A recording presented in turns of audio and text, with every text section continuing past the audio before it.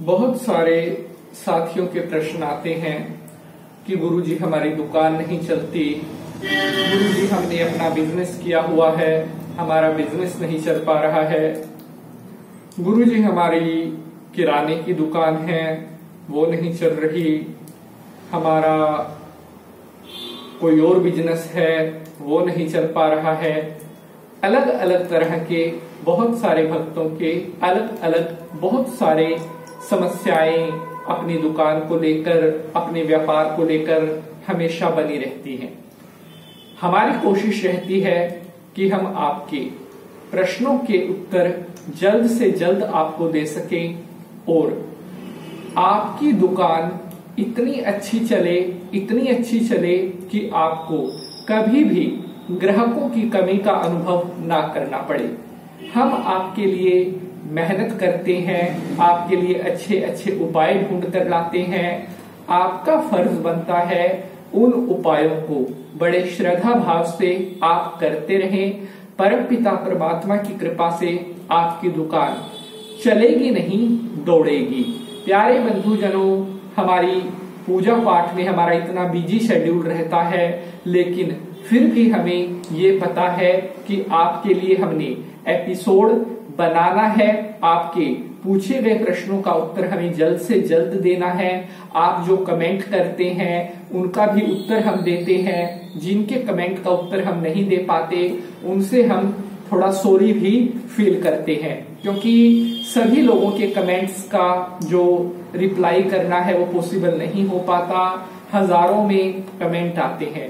तो प्यारे बंधुजनों, आप अपना कमेंट व्हाट्सएप पर भी छोड़ सकते हैं। हमारे मेल पर भी छोड़ सकते हैं। जैसे ही हमें टाइम मिलता है, हम रिस्पॉन्स ज़रूर करते हैं। आज का हमारा विषय है उन सभी भक्तों के लिए जिन्होंने अपनी दुकान से जुड़े हुए प्रश्न हमसे किए थे कि गुरुजी, हमारी दुकान नहीं चलती है। तो आज मैं आपको एक ऐसा टोटका बताने वाला हूँ, जिसको करने के बाद आपकी दुकान में कभी भी काम की कमी नहीं होगी। ग्राहकों की कमी नहीं होगी और आपकी दुकान की सेल कभी कम नहीं पड़ेगी। साथियों, बहुत ही आसान ये उपाय है और बहुत कम दिनों में इसका जो असर है, वो स्टार्ट हो जाएगा।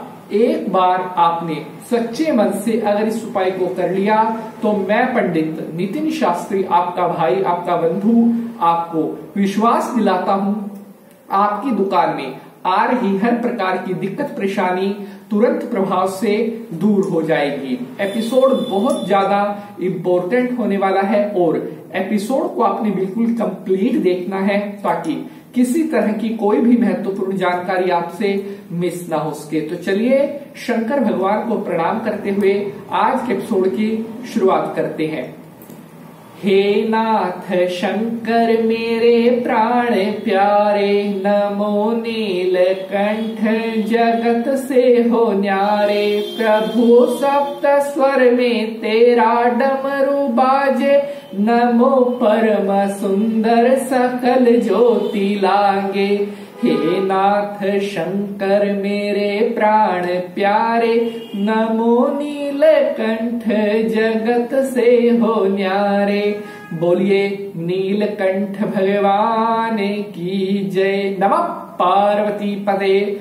हर हर महादेव। नमस्कार, सुस्वागतम, आभार। आप देख रहे हैं। ज्योतिष मिराकल और मैं पंडित नितिन शास्त्री, आप सभी भक्तों का आज के एपिसोड पर हार्दिक स्वागत करता आशा करते हैं आप सभी स्वस्थ होंगे, मस्त होंगे और महादेव का आशीर्वाद हमेशा आपके ऊपर बना रहे। तो जैसा कि आपने एपिसोड के टीजर में देखा है कि छुपा कर रख दो यह चीज़ दुकान चलेगी नहीं, दौड़ेगी। जी हाँ। आज मैं आपको एक ऐसी चीज़ बताने वाला हूँ, जिसे अगर आप अपनी दुकान में छुपा देंगे तो आपकी दुकान कभी भी मंदी नहीं पड़ेगी।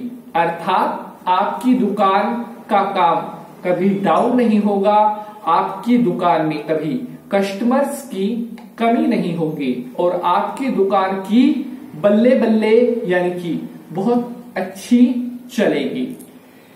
तो प्यारे बंधुजनों, आपने अपनी दुकान में मंगलवार के दिन एक लाल कपड़े में सात जायफल, जी हाँ किराने वाले से या जो पूजा पाठ का सामान रखते हैं, वहाँ से आपको जायफल मिल जाएँगे।